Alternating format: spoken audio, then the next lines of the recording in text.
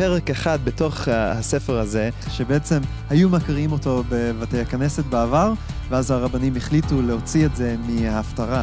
היום זה נחשב הפרק האסור. האם שמעת על זה עוד פעם? לא שמעתי על זה. האם את רוצה לראות מה, מה נסתר בפרק הזה? יש לך את זה? יש, יש לי פה בתנ"ך. צריך לדעת uh, כמה שיותר על זה, האמת היא.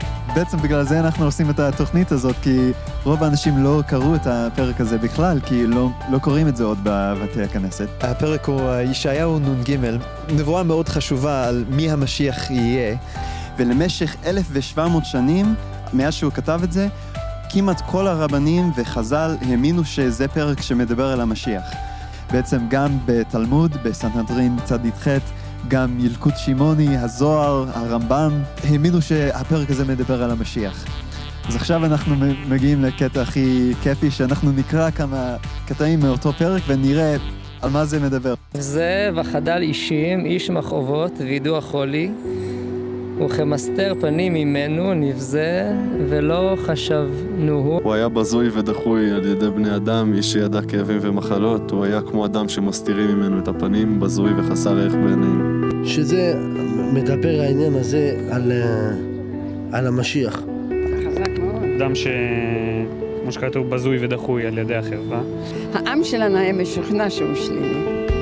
לא יודע למה. לא קיבלו אותו. דחו אותו. לא חשבנו שהוא היה המשיח. כל אוינו הוא נשא ומכאובנו סבלה. ואנחנו חשבנו הוא נגוע, מוכה אלוהים, מעונה. אכן, הוא נשא את המחלות שלנו, סבל את הכאבים שלנו, ואנחנו התייחסנו אליו כמו אל חולה במחלה קשה, שאלוהים גרם לו להיות מושפל ומעונה. הוא לקח את כל הכאב, את כל הסבל ואת כל המחלות עליו. ובכל זאת, יענו, דחו אותו. הוא עשה לנו טוב ובעצם נתנו לו רע בחזרה. הוא סובל בגללנו, בגלל כל ה... בעצם העבירות שאנחנו עושים, אז הוא סובל את הכאב הזה.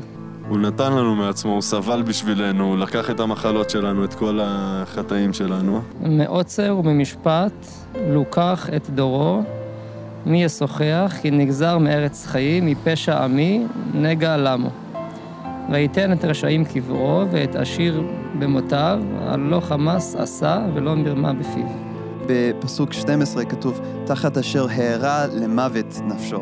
מה התוצאה של הסבל שלו בסופו של דבר? הוא מת. הוא מת. הוא ימות. עם עשירים, איזה כיף. אני גם רוצה. אז uh, קיצר, האשימו אותו על דברים שהוא לא עשה, וקיבל על זה. מעניין. הוא מת, אבל uh, לא, לא מוות uh, עם כבוד. קודם כל, האם זה משהו ששמעת על המשיח, שכל הדברים האלה אמורים uh, לקרות לו? אה, לא. זה לא. יש גם את התיאור הזה, לא רק בפסוקים אלה, אבל גם בזכריה, בדניאל, במקומות אחרים, וגם הרבנים העתיקים הבינו שהמשיח אמור לסבול. והוא מחולל מפשענו, מדוכא מעוונותינו, מוסר שלומנו עליו, ובחבורתו נרפא לנו.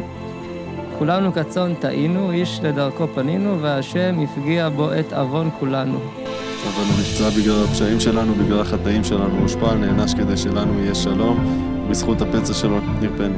כולנו עבדנו כמו צאן, כל אחד מאיתנו פנה לדרכו, אבל אדוני הטיל עליו את האחריות על החטאים של כולנו. הבנתי, על פי הפסוקים, כאילו, הוא, הוא יספוג את החולי והרוע שלנו, וזה ירפא אותנו, והוא בעצם יהיה בן אדם שנענש, שהוא ייקח על עצמו את כל ה... אוקיי. קח את כל העוונות שלנו, ואת כל, כל המכאובים, ואת כל מה שעברנו. אה, הוא, הוא לקח על עצמו את הכל.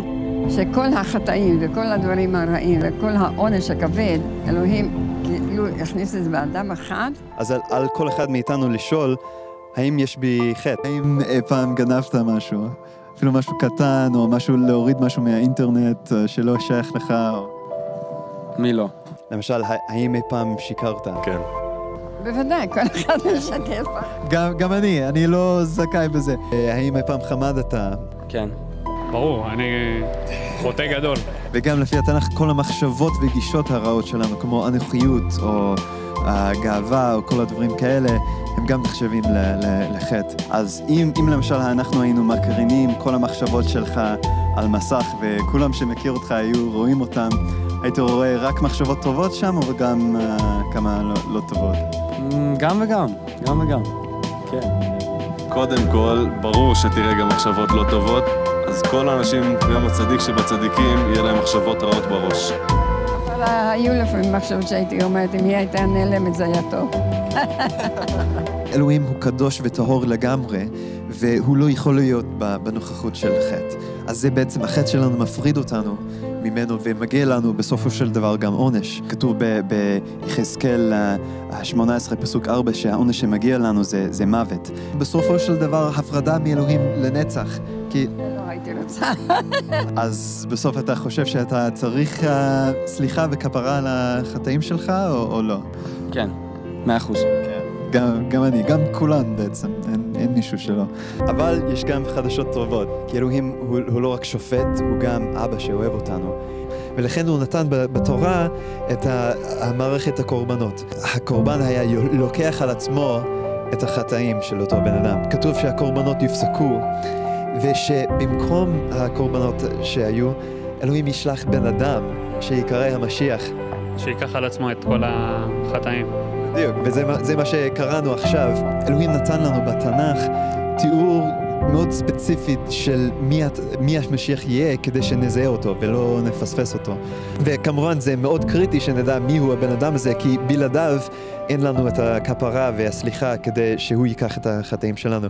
כתוב בדניאל פרק ט' ש, שהוא חייב לבוא לפני חורבן בית המקדש השני. אז בעצם זה היה ב-70 לספירה.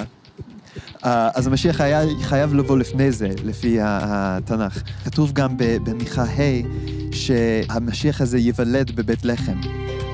וגם כתוב בישעיהו, uh, מה שקראנו עכשיו, ישעיהו נ"ג, שהעם שלנו נדחה אותו בהתחלה, ושהוא יסבול וימות. וכתוב בפסוקים אחרי זה, אחרי שהוא ימות, הוא יקום uh, uh, לתחייה, ו, ואז כתוב כשגויים רבים יקבלו uh, אותו, ו, והם יכירו את אלוהי ישראל בגללו. אז עכשיו, מהתיאורים הללו, מהתנ"ך, יש מישהו בהיסטוריה שהגשים את הדברים האלה? אני uh, לא יודעת. לא, לי לא ידוע. לך ידוע? יש מישהו שהגשים את זה? לא, לא שאני חושב, יכול להיות שיש, ותגיד לי עכשיו, אני אגיד, אה, כן, אבל עכשיו לא עולה לי לראש. אמ... ישו.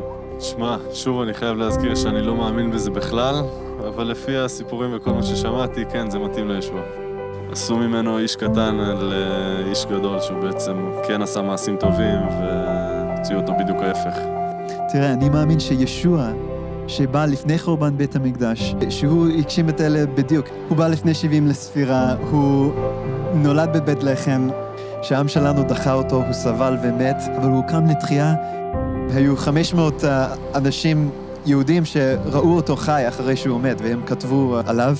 וגם כמובן הגויים אה, קיבלו אותו באפילו מיליארדים, והמשיח אמר, אני אקח את זה על עצמי. אני, כל הסבל והעונש שהיה מגיע לכם, אני אקח את זה uh, על עצמי. אבל כדי לקבל את זה, אנחנו חייבים לעשות מה שהיו עושים אז. מתוודים על החטאים, מצטערים עליהם, להתחייב לא לעשות אותם עוד, וגם להאמין ולהעביר את החטאים שלנו uh, עליו. רק אם אנחנו נאמין באותו משיח ונקבל אותו, אז, אז הוא יקבל את כל, כל החטא שלנו uh, על עצמו. לא נראה לי ששמעתי את הדברים האלה בגלל שהנושא מגיע לישו, כבר uh, יש כזה מחסום, שלא רוצים אפילו לחשוב על זה, לא, לא רוצים uh, לפתוח את הראש, להיות, uh, באמת, להביא לזה מחשבה קצת. uh, לא יודע, מסתכלים עליו כאילו, כן, כמו ש... כתוב בפסוק הזה, שדחו אותו.